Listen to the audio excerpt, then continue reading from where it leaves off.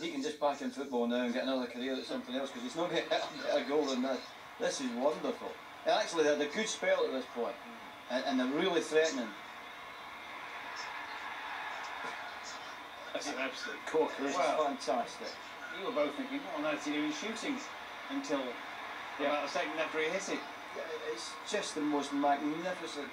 It, it, it, and in future years, it, he'll still have to feel that that kind of touch he's had there because that's the perfect touch. It's, it's just a wonderful.